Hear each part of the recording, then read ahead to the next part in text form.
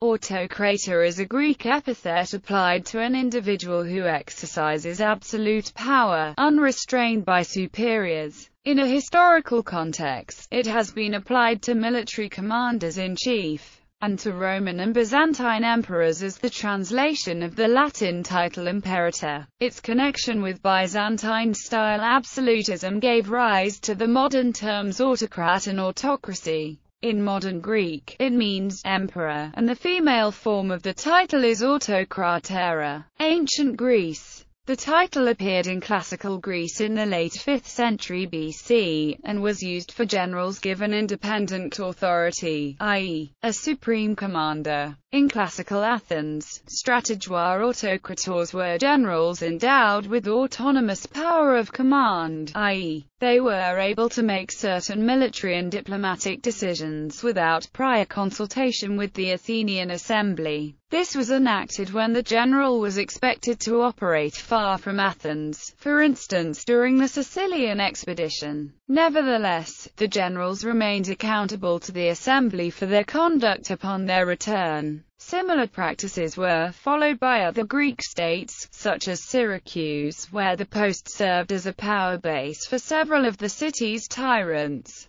Strategoi autokrators were also appointed by various leagues of city-states to head their combined armies. Thus Philip II of Macedon was declared as hegemon and strategos autokrator of the southern Greek states by the League of Corinth a position later given to his son Alexander the Great as well. The term was also employed for envoys entrusted with plenipotentiary powers. Roman Byzantium. In later times, with the rise of the Roman Republic, strategos, autokrator was used by Greek historians to translate different Roman terms. Polybius uses the term to translate the title dictator, while Plutarch uses it in its later sense as a translation of the victory title imperator. Autokrator became entrenched as the official translation of the latter during the Roman Empire, where imperator was part of the titulature of the Roman emperors. As such it continued to be used in Greek translations from Latin until the adoption of the Greek title Basileus by Emperor Heraclius in 629. It was retained in archaic forms of address during ceremonies in the East Roman Empire, and was revived in the form of Basileus. Kai, autokrator, which then designated the senior of several ruling co-emperors, who held the actual power. In the Paleologan period, this use was extended to include the designated heir. The title is evidenced in coins from 912, in imperial chrysobulls from the 11th century, and in numerous illuminated manuscripts.